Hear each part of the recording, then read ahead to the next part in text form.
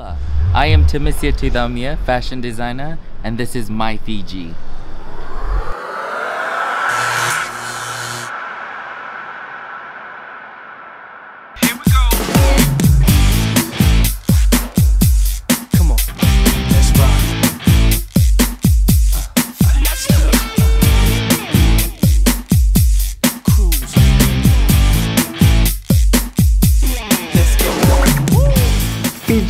Fashion industry has produced some very recognizable and influential names when it comes to designing.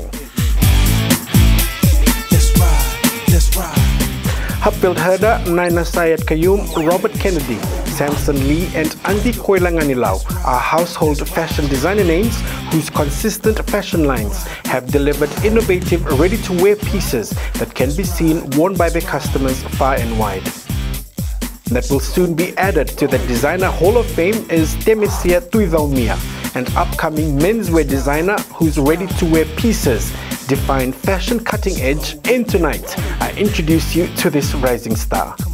This is the popular blazer that was on the runway. Wow. Red blazer. Bulavinaka, my name is Temesia Tuicaumia and my brand is called Temesia.co and I am a men's fashion and lifestyle as Temesia.fj Traveler. I am from Matuku in Lau and I have been a men's influencer for about five years now and my brand Temesia.co for my menswear and women's wear has it's only been a month so it's a month old.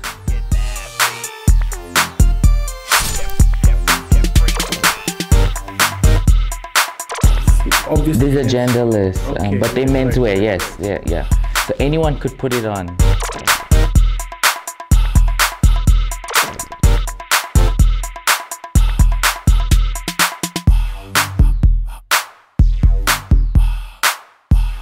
Uh, my business as Temesia.co is um, it's still in the beginning stage. I really I really have so much dreams about where this will go, but it all started with me being a men's influencer for fashion and lifestyle um, as Temesia.fj Traveler. So as an influencer, you know, I thought I need to be influential, so I had suits made for myself. And uh, by then, I still didn't think of a brand as Temesia.co. That just came into picture during COVID while I was at home. Earlier this year, um, towards Wearing Fiji, where I launched my uh, first my first ever collection for my brand Temesia.co, um, that's when the business started. So it's probably been a month now since I've started, um, but during that four to five years where I was making clothing for myself, um, little did I know that my business was in the making. I was building relationships with my seamstress, um, with my suit tailor, and with my casual menswear tailor. And so that's the beginning of the business for Temesia.co.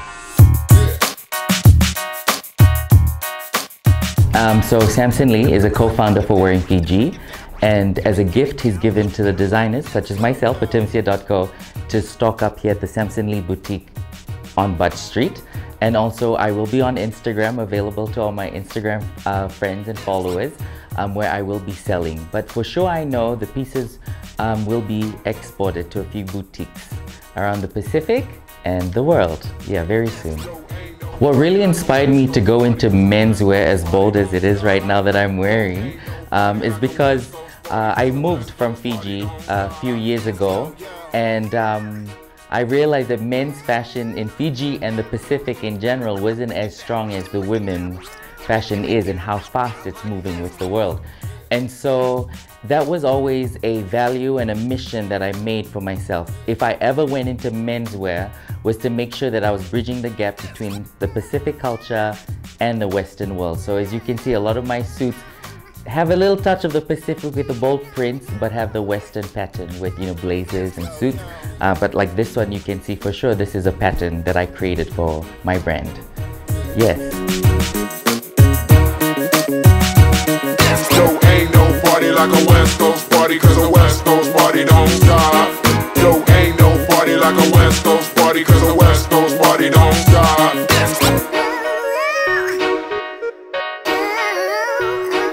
Temesia recently debuted his first fashion collection at Wearing Fiji, a fashion show that was held at Suva's Grand Old Lady, the Grand Pacific Hotel on September 5th.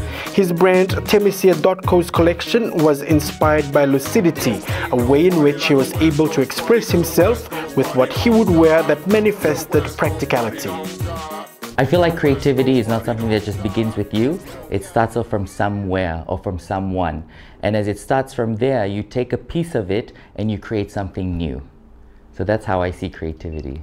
I think the first ever challenge was money because in order to go into men's influencing uh, for lifestyle and fashion or just being a blogger or an influencer or going into fashion, you know, you really need to invest before you can tell people, you know, your actions speak louder than words. So I had to invest a lot of money in my suits and they, they're not easy to come by. My tailors charge a lot, but it's understandable because of the pattern and the sewing. And so that was the first challenge I had to go through was to really, if I wanted my brand to grow to where it is today, was to really invest money. The second part was building relationships with these tailors and seamstress. It took me a day to find these tailors, but it took me four years to build a relationship I have with them now, where they're not burning my fabrics because they weren't used to making suits out of these fabrics. Um, so those were the two main challenges I had. The best thing about it is that I get to be um, a Fijian wearing Fijian clothing. That's been my goal to wear Fiji. And so that's been something best about it. And also just making clothes for myself because I love shopping. And every time I travel, I, I shop. I, you know, you, you shop a lot. And so when this whole COVID happened, the best thing that ever happened to me was to make clothing for myself. So every day, I try my best to wear something that I've made. COVID-19 has really put my life in perspectives that I've never really thought about and I've literally really prioritized things that matter. And I think one thing that really stood out was supporting local businesses. And because I'm all about lifestyle and adventure and food, um, this was the perfect time to advocate for local businesses. And so while I was doing that, I was in the making of building my own business. So it's wearing local. Um, so it, it's really shifted me to prioritize um, local products first um, than our, you know, um, imported um, brands that come in. I definitely the first one would be my church family. I honestly wouldn't have done it if I didn't have God in the picture. It's been something I've been really praying about coming towards launching this collection. Um, and so having it come to life was definitely a prayer back to God. It has just been my church family and really the fashion industry.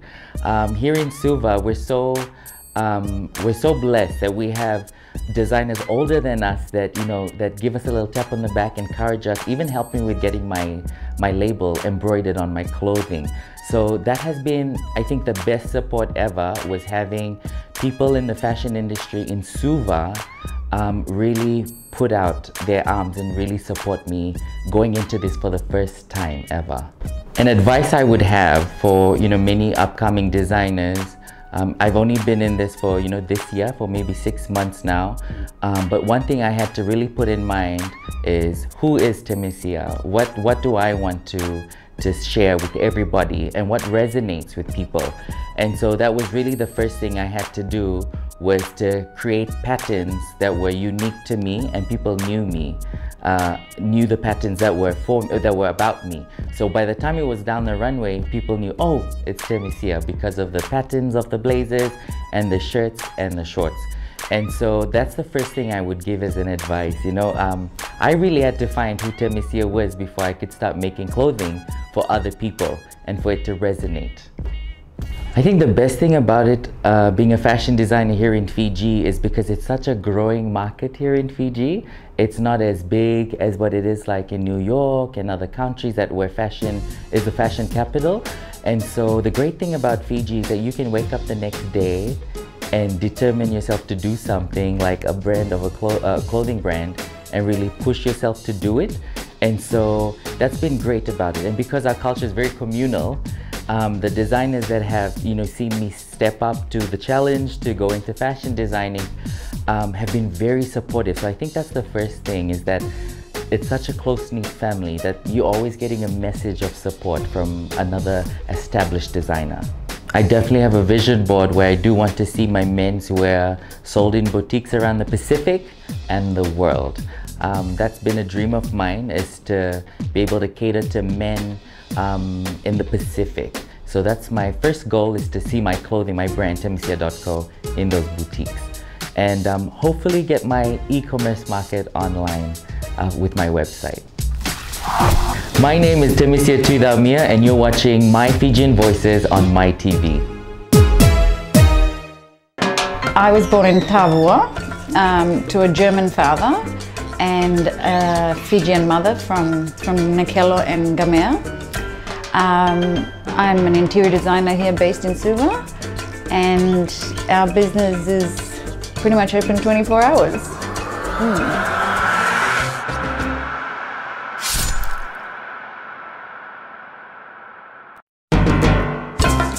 Bull Fiji, my name is Bronwyn Von Rhein and this is My Fiji.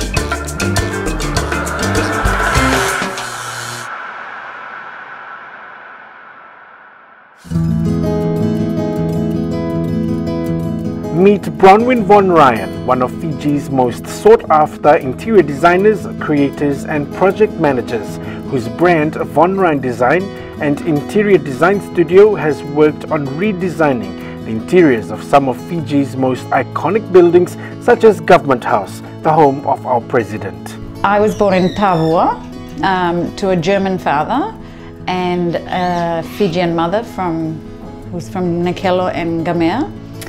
Um, I'm an interior designer here based in Suva and our business is pretty much open 24 hours. Hmm. Yeah, I'd been working in the industry in Australia, in the interior design industry for roughly about 20 years now. Um, when I came to Fiji I had young children so I started a company called Bold Events um, which did events around Suva and I did that part-time because I had younger children. As my children got older and I, was, I had more free time, I was able to actually start my own interior design company, which, is, which was the intention all along. I would rearrange my parents' house the, as early as eight years, at the age of eight, and I was doing it everywhere. Every place I went, I was rearranging furniture, I was bringing in flowers, I was bringing in plants, or, you know, my friends would go away for the day and I'd, I'd be in there, you know, helping them move furniture or do something. Um, to the point where I was even making money throughout high school, um, picking paints. Uh, my school friends' parents were calling me to, what should we do here? Um, for me, it was all about the movement of space and how, how you live in it and how, what th the things that can be better in that space for you to live better. The way that buildings are built, how, how the mechanicals work and how it feels is what gets me excited about building. Yeah. Interior design just wasn't you know, it wasn't done here. And so when there, are contracts, usually an interior designer is there from the beginning so that there's an allocation for that work to be put aside. Um, what I did face here was that it was an afterthought for most builders and most architects. And then it ended up running into problems at the end because nobody knew what finishes had to be put on the walls, nobody knew the floors. Um, so all of those things need to be decided upon um, before it's even signed off um, because it all needs to be ordered. And sometimes, you know, and they can that can delay projects, that can um, essentially cost the builder money, um, the whole job. The best part of what I do is um, I get to challenge myself creatively. And sometimes I have clients that just say go for it or um, then some are a little bit more restrained. I like the ones that just say go for it. The clients as well, they, they're great people and because of what I do, I have to get to know them so that I could, you know, design around their lifestyles, around um, the way they live, and also the builders, work with builders. I get to work with some really great people. That's probably the bonus of of the interior design business. COVID 19 impacted the business. Um, not so much for us, but for our clients. So, if we had projects that were coming up, those have been stalled or delayed or cancelled altogether, which ultimately affects us. Um, we only take on because with one, you know, interior design jobs take usually six to six months to two years to finish from start to finish. So we don't take on a lot of that work. And because COVID had happened later on in the year, we'd pretty much finished that year's work. So we were okay then, um, but now it's it's slowly get coming back. Our new clients, the existing clients, are now wanting to finish their projects. Um, but there was a bit of a lull period there for six months. It's actually taught us um, that you know you can have a little bit more balance, um, and forced us to have that little bit more balance, and it's it's working out for us really well. I hang out with the children more. It's great. It's you know they're full of energy. They you know, and I feel as though I've got more energy. I'm yeah, just getting to work or not even having to come in. The work is still being done. Um, that's, that's my motivation. I do tend to be on the internet quite a bit just to get that inspiration, but the motivation definitely comes from the people around me and my family and just how exciting some of the jobs can be. Go for it.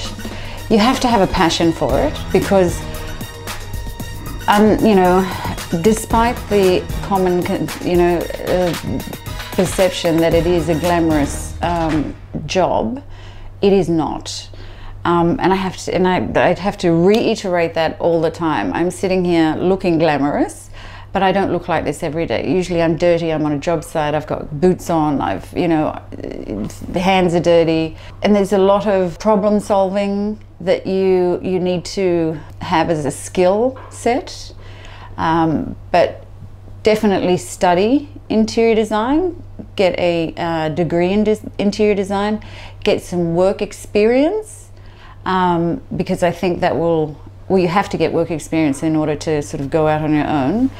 Learn uh, building codes, learn it. Um, passion is just not enough. Again, I have to challenge myself there too because we don't have the resources here. Um, I like to order things as much as possible from Fiji, but when I'm unable to, it I have to uh, procure from overseas, and that takes a lot of time. That's probably about the worst uh, part of uh, being an interior designer in Fiji. The best part is having to come up with ideas and figure it out and custom make everything. And it's always a one-off piece. And the client is always just, wow, this is amazing. Nobody else is going to have this piece. That's the best part about it. And the people, are, people in Fiji are a lot more relaxed, um, and they're open to open to anything, which is fantastic. They're, yeah, they're, it's very easygoing here, and um, yeah, they let your design shine. So I love it. My business in the future, I'd like to expand on my staff so that I can pick up more work because I'm pretty much doing it all at the moment on my own.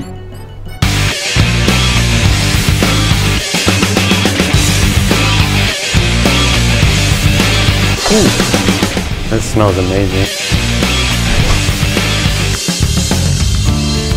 Bula, I'm Victor Maginnity from Dilo Up, and this is My Fiji.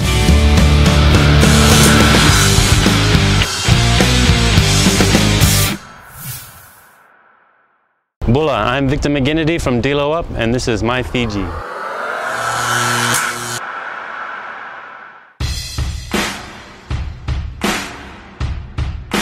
Victor Maginnity is the brains behind Dilo Up Handmade Products, a Fijian brand that is famed for its soaps, balms, and sunscreens. Tamanu Ondilo oil is the base ingredient of his products, and tonight I introduce you to the founder for one of Fiji's boutique personal care range. I was born in Suva, 1984, CWM, and I've lived all my life in Lami. I did complete all my schooling in International School Suva. Later in New Zealand, I did a Bachelor of Applied Science in Environmental Studies. So I have a strong passion for, for the uh, marine environment and, um, and the sport of surfing, which is something I've been competing with uh, for many years and representing Fiji. Apart from surfing, um, I was fortunate enough to be to have worked a few years um, overseas on super yachts, so I've had a lot of experience traveling the globe. For like the last five years, um, I've been based in Fiji. There's no place like home, and um, I can still do you know yachting jobs from time to time, but I like to do things more locally now and spend most of my time here in Fiji. Dilo Up is a home-based business, um, so I do most of my work from home.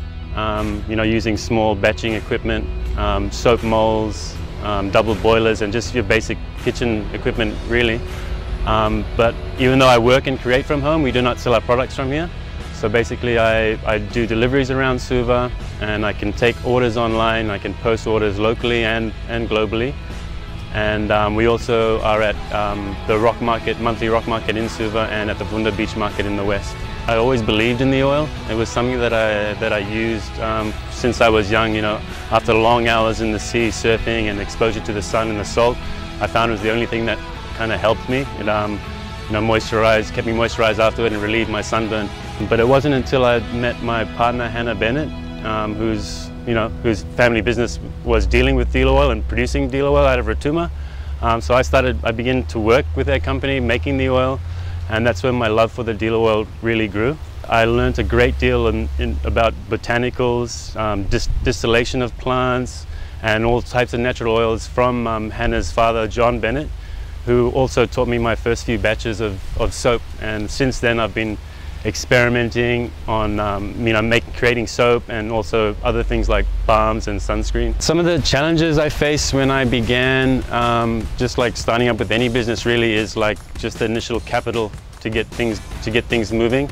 Um, it's it's a long slow hard road really if you don't have any any capital to, to invest with in the beginning. Um, unfortunately for me that was kind of hard to do um, so I've been, whatever little money I've been able to make on the side, I've been putting back into the business. So it's something that I've started from scratch and I'm still scratching away at it. Um, but now that Dilo is starting to gain popularity, um, it's, it's slowly starting to pay off. Tamanu Ondilo oil has been used for centuries to treat many common skin conditions. Research suggests that the Ndilo oil does have some properties that would make it effective for treating wounds and other inflammatory skin conditions, which is the unique ingredient used in all Ndilo Up products. Um, COVID-19 has had both a, a, negative and a positive effect on the business. The beginning of April, when the pandemic was sort of, you know, kicking off and the lockdowns was happening, um, our wholesaling business um, in Dilo just completely stopped. So we were pretty much out of work. Um, but then that meant that I could that I had to solely rely on the products that I was making from the oil, so Dilo up. So spending more time making products and um, and spending more time on marketing and things like that. Um, so in that respect, it's it's been a positive impact because I've actually grown grown it in very short span. Um, just purely because I've had enough time to work on it. So I guess the impacts on my life um, have been I'm, I'm, I'm more conscious about, you know, personal hygiene and stuff. It's, it's lucky that I'm in the business of making soap, so I can wash my hands regularly and stuff like that. I just keep moving forward with, with whatever I'm trying to do, no matter what's, what's happening. I, have applied a few months ago to um, for the Young Entrepreneurship Scheme. If it does work out, then it's going to be you know just the boost that Up needs. But other than that, it's just being the, the support from loyal customers and, and family basically that um, believe in myself and the business that have kept me going throughout these last few months. Things that motivates me at the moment is just making some, some little positive changes in, in, in my daily life and, and also just simply working with my hands, you know, like if I'm not making soap, if I'm, I'm, I'm tending to my marine aquarium or like, you know, in my new veggie garden or busy making, making displays and stuff for my, you know, for my products, or whether I'm out surfing in nature, um, these are all little attributes that, that contribute towards my craft and, and towards you know, what, I, what I end up producing with these hands. The advice I have for other SME enterprises is just to nurture your ideas and no matter how um, big your dreams may be, as long as you put in the work, you'll start to see benefits from that. Things will start happening. You know, there's always going to be hurdles, so there's always be ups and downs, but as long as you're learning from your mistakes and you're moving forward, um, you will eventually experience success. Bula, I'm Victor Maginnity, and you're watching Mai Fijian Voices on Mai TV. Thank you for watching our show. I hope you enjoyed meeting fashion designer Temesia Tuicaumia, interior designer Bronwyn Von Rhein, and Dilo Ups Victor Maginnity. Now get in touch with me if you also know of someone with an inspiring story that we can tell on our platform. You can message me via our Mai TV Facebook page. Don't forget to like our page and share this video. I'm Andy Blake. This is Mai Fijian Voices. Isama Fijian voices.